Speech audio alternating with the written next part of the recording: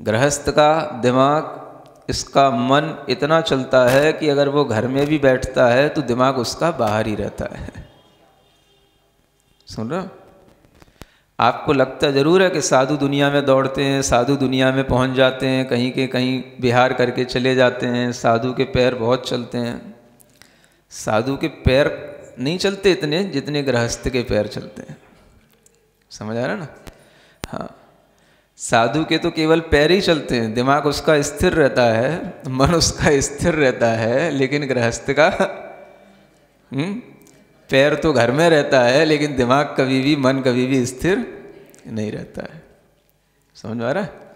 तो साधु का मन स्थिर होता है फिर पैर चले तो कोई फ़र्क नहीं पड़ता लेकिन गृहस्थ का मन अस्थिर होता है और उसके पैर भले ही घर में रहते हैं लेकिन मन की अस्थिरता के कारण से उसकी स्थिरता घर में भी नहीं बनती है। समझ में आ रहा तो साधु और श्रावक में क्या अंतर है?